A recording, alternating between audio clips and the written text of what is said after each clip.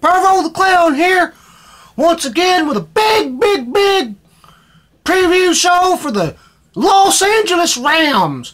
The Rams come in Super Bowl champions of last year. They come into 2022 ready to repeat.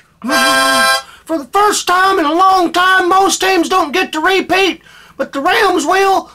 They've loaded up with talent. Back in the day, they had Marc Bulger at quarterback. Chrissy Everett.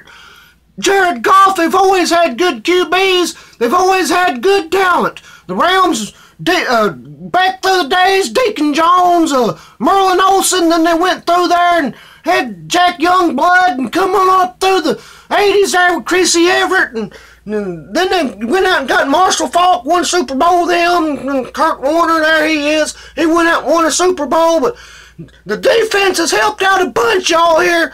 The defense has helped him out quite a bit. Laurinaitis, whatever his name was, he was 55, would hit him hard. I can't pronounce his name, but boy, nobody else could either after he gave him a concussion. Michael Sam, oh, he'd pound it in there, wouldn't he? I mean, he'd just pound it and pound it and pound it and pound it. And, and, and boy, he'd just fucking just hit him hard. I mean, he'd hit him hard and pound him hard and tough. And Jack Rabbit Jenkins, he'd just be flying all over the place. There's Aaron Donald back there.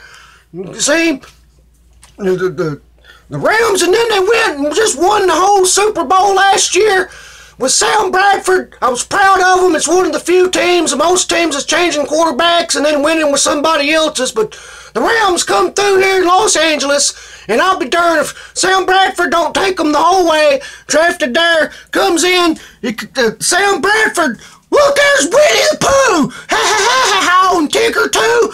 Yes, sir! This is probably the best video of all. You know good One of the Rams are loaded again. Let's look at this year's roster, see what they've got. They've loaded up again, y'all. Once again, they're bringing back in Aaron Donald. Looky here, Sam Bradford coming back for one more year at least. He's one of my favorite quarterbacks ever. He finally won him a Super Bowl. I'm proud of it.